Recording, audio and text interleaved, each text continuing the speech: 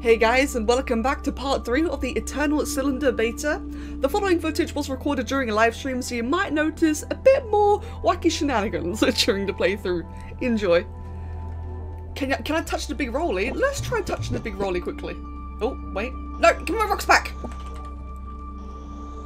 There we go. Let's give the big rolly a big touch. Actually, now that you mention it, there's a bit of a glowing green thing over there, so that might actually be worthwhile. And one thing I do need to do more in this game is just check out... Oh, hello. Wait, that did something funky. I'm stealthed. Ooh.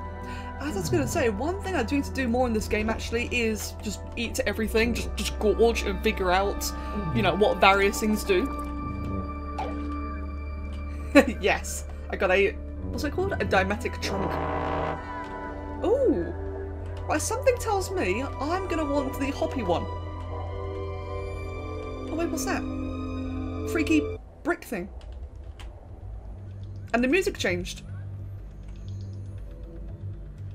You know if the music ever changes in a game, right? It's, it's, it's about to get- things are about to happen. It's always scary when the game changes, or the music changes. Oh. See ya. Right then, so what do we have in here? First of all, water. I do need more water anyway. We've got that freaky thing. Oh, what is that? It's new. Right, I'm going to chuck this one, and in fact, what I can do, which would be a lot easier, if I go into my inventory, I can actually switch things around like this. So, Annie, I want you to have this. There we go. And then select Annie. So what is this then? Oh, the eyes bulging. Never gets old. Mineral processor. The mineral processor mutation is constantly refining minerals found in its inventory slots, transforming them into units of refined material that can be used for various purposes. Be mindful of what you absorb this Trebhum as its body will automatically process any minerals stored inside it. I'm betting that works, the rock thing we found earlier. The hard shell thing, maybe? It's got a mineral icon. Let's just go ahead then and chuck Wait, hold on. What happened to what happened to her head? Oh no! Annie's covered in tubes and tentacles. Annie became I I can't say it on stream. Annie became Forge. I'm just gonna say that. She became Forge. Organic tube Forge. Oh, it's horrible. it looks horrifying. Okay, let's switch some things around then. Let's switch that around, let's switch that around. Does it matter what order they're in? I don't think it does. Cool, alright then. What happened? Annie turned into an organic tube.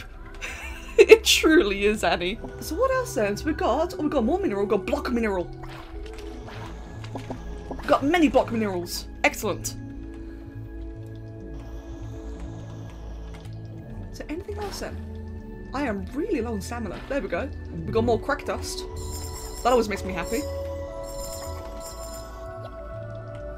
Is there anything else around here then? Like, I know I keep on saying it, but I do just love the environments. Like, these little caves here. Just take a moment, like, to appreciate the lighting. that one just went for a swim. The lighting, all the little objects hidden away. I know the camera's a little bit awkward to turn around sometimes. But you gotta admit, man, it, it does look, like, really, really cool. I feel like caves are, like, a kind of feature that a lot of games tend to lack like Spore. I, I don't know why, I just love caves I think spores really benefit from them. Oh, we got more mineral things. Excellent. Right, I can eat that one. So that's another one of those hard-shelled things we got earlier. And... Right, that's one of those healing thingies. Uh, who has the healing thingy? I'd rather stack it up on the same one twice, and it is Guy. Guy is the is the holder of the Healies. Who is down here, of course you are. No, come back! Oh, I can only have one at a time. Oh, that makes sense, actually. So in that case, just eat all that. Oh, I ate it. Bollocks. Well, it's a good thing I've got a second one now. I thought it was another red trebomite, and this one, you know, TLDR, a red trebomite has a restorative effect on a Trebhum, briefly accelerating cell regeneration. I thought it'd be healing it again. Because, it's you know, the same icon. But no, it's a blue one. Fragments in the Trebhum memory cluster suggest that Trebhum scientists believe that this organic compound found within meteorites plays a significant part in the creation of life in their world. We've already seen all of that. Blue Trebhumite has a hydrating effect on Trebhum and was once a popular cocktail ingredient. I can't imagine these things getting drunk. I want to see what Trebhum society was like, man. It sounds so wacky. Well, this is positively bright and painful. Let's go select Annie. Speaking of which, hello Annie, welcome. Wait, get, get back. Annie, welcome. Uh, this is you. You've become organic tube. You're you're very pretty, by the way. So what do we have in here then? Just more of those uh, gem clusters. Oh, and I'm breaking into the universe. Oh god. Hey, so this is one way we can just avoid the cylinder. It's just stay in the cave and have it come over and it'll be fine. When the culture hero Naka finally reached the edge of the underworld, a guard sent by the evil king stabbed her in the heart with his spear. Ulugh, the worm of the bone caves, whom she had befriended, made a new heart for her the, from this rare and precious mineral. She lived, and when she returned to the surface, she could no longer be killed by any ordinary weapon. Thus, she overthrew the king and brought freedom to the Trebhum. But because her heart now belonged to the underworld, she returned to the depths and was never seen again.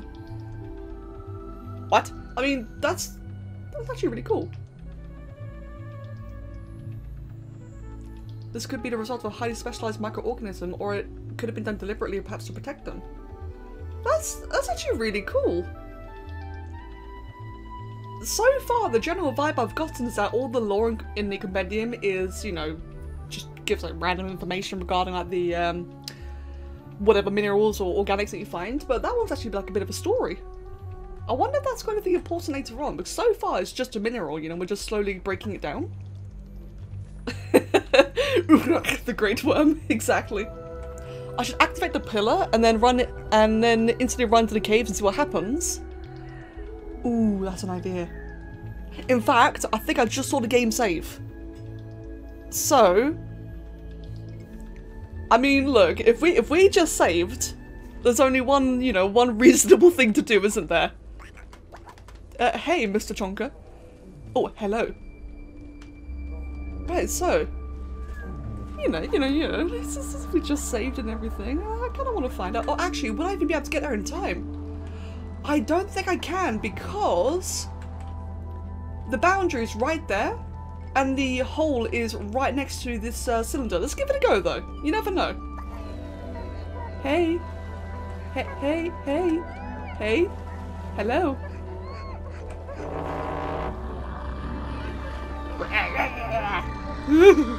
God, I hate it so much. Nope, nope, nope, nope. Fear. Go away. Bad, freaky mouth giant. Right, where can I get the most linear path back? That one's got a bit of water there. Wait, get, get out of my way. I don't think, no I can't, this is all in the water, isn't it? That'll slow me down. Right, where is a more direct route I can take then to activate everything? Probably from here?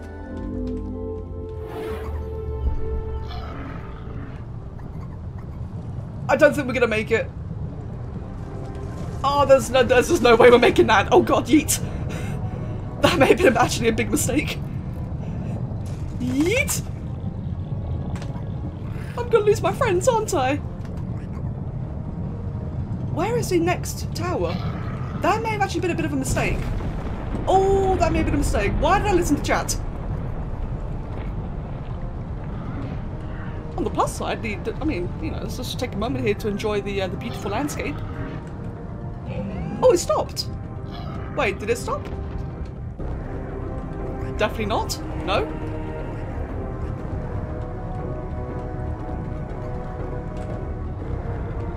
There we go. Now it's back on again. And we got another freaky egg thing. Oh, that's a shame then. So we may, we potentially may have like, you know, missed out on anything there. Any little uh, treasure to find or... Oh no, Gee died! Oh, Gee! The little death icon, so depressing looking. Okay, note to self, don't listen to chat again. uh, to be fair, it was actually a good try. It's just if the cave was like not directly beneath it, I think that would have been possible to, you know, check out. But unfortunately, uh, it just wasn't on our side that time. Oh god, Annie's growling. Annie, Annie, Annie just growled at me. Stomach. The stomach meter represents your party's food and energy level is divided into two parts, the stomach and the energy pouch. I don't know why, I find that kind of disturbing. So basically, this is where the actual survival part kicks in. We have to eat. And eating alone As isn't enough. We actually have to... The Trebhums started feeling weak and tired. With all the excitement and adventure, they'd neglected their most basic needs. The sound of an empty stomach reminded them that survival requires more than escaping from danger. You also have to eat. Luckily, one of the many gifts of the Trebhum is the capacity to store food in their bodies. But they still need to digest it to gain the vital energy that gives them strength. And for such small creatures, they do require rather a lot of food. Thankfully, The, The chunky one's got plenty. Rich in flora and fauna, which would satisfy their little bellies without necessarily triggering a mutation. Right, yeah, I was just gonna say, fortunately, uh, the chunky one there has already got like so much uh, mushrooms and shrooms in its inventory, so we're kind of fine in regards to the food department. If we check the upper left-hand corner, worm! If you check the upper left-hand corner, you can see that the uh, the hunger and energy bars are actually full. But this is where the whole survival part kicks in. Now we actually have to worry about food and energy, and if we don't have enough, then things happen. I have a freaky bug thing. Right, I like Annie. I like how she is. I'm gonna give it to. I I need a fourth one, man. I don't want to change uh, Frost. Actually, I might be able to get away with giving Frost a new a new thing. Uh, Frost, mate, you have it. Oi, take my regurgitated worm. Oh, I got two of them.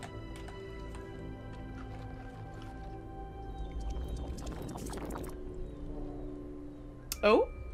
Water processor. The water processor mutation is constantly processing ingredients found in its inventory slots, transforming them into water.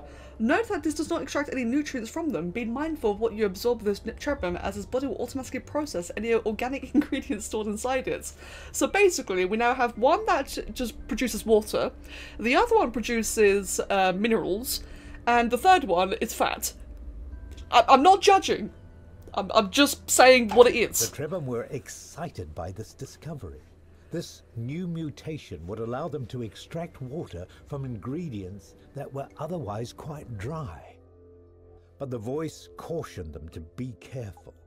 More water was useful, but this process would not extract any nutrients. They would have to use it carefully and wisely. Well, that's fine. We got so many mushrooms anyway. I think we're pretty decent on that regards. I mean, I mean, guys, guys, look, I'm, I'm just being observant. I love how I, I love how wacky they all look. I love the sunrise. Hello. So now Frost is a bubble a bobblehead. He looks, guys, look. Doesn't that right there just look like peak performance? Isn't that beautiful? right. Oh, just look at the sky. But I, I know I keep on mentioning it, but it does look amazing, doesn't it? Right, what is our objective then? So our next objective is that area over there. However, I see a little hut thing. I believe there can be an egg somewhere around it, or actually, no, there's a trapper inside it. Hello, Gutu! Gutu requires minerals and a melon? I, th- I think that's a melon? We've not had any of those weird melon things yet, have we? No, so I'm assuming if we want to get Gutu, of whom we will absolutely rename, we need to try and find something for him, but I've got no idea what that could be though. Mate, this game has got far too many mushrooms all over the place. so what do we have? Oh, we got freaky, weird licky egg things. Oi, oi. Come, come back, I'm gonna kidnap you. There we go. Hey friends. So, uh, this exists. Look at his lovely face. What is, what is Frost doing to it? It's like rocking it around. Oh, it? Oh. Oh. What the hell? They just knocked me over, little poo heads. Can I... Take this! Oh god. Oh no no no. Ah, why am I rolling around the place? Why hello there. yes! Levitate up the rock. Oh Jesus! Okay then. Where's he going? Is that like a secret path up there? It looked like it. And... Yeet! Ow. My ankles. Oh, hello. Why do these insects have their, like, skulls split open? I really don't like that. Now then. So, the original one, the fat one, already had. I'm gonna call it chunky. The chunky one already has uh, webbed feet. So that's one foot mutation that I don't really want to overwrite. So Annie is gonna be a hoppy one. There you go, Annie. Now you can hop. So we just got the leaping legs, and now Annie can also jump high. And we have this. Hello, friends. TV. Requires one mineral crack dust deposit. We can do that. Wait. Hey, hey, friend. Wait, do, do you not want my crack dust? I mean, I'll, I'll get some more for you right here. Let's just quickly get, get the rest of it. Okay. Tuv. Tuvy. Oh god, I'm too bouncy. Damn it. Okay. Chunky. There we go. Now it worked. It wasn't working the first time. Right, so let's actually enter a name properly this time. What do we want to call this one? So who here is sweet and colourful and looks like a melon? There you go. It's Stormy Snooter. Close enough, eh? we now have our new friend Stormy Snooter. Right then. Meanwhile. Okay, Stormy Snooter, it is time for- Oh, what is that? It's a rainbow! Compendium. Tell me about it.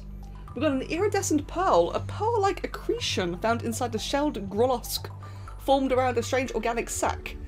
This this wording, man. Aesthetically pleasing despite the smell. Wait, what?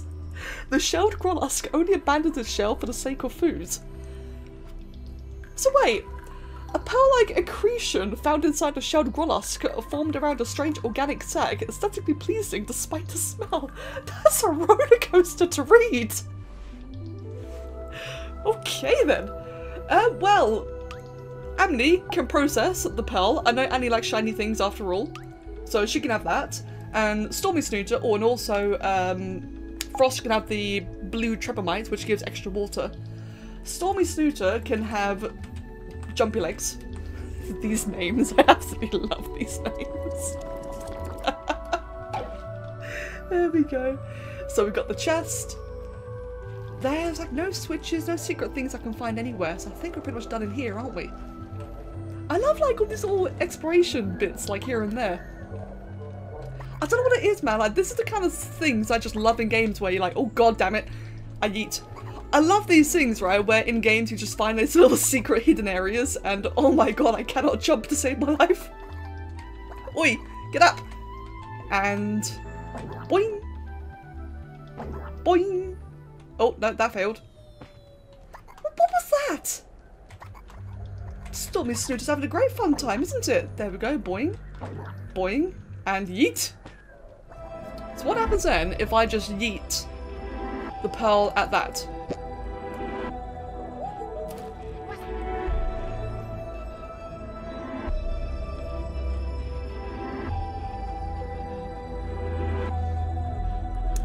Once again, don't listen to chat.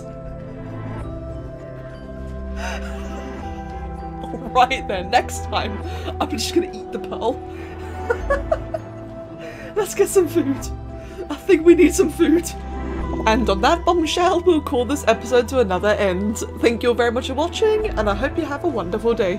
Cheers.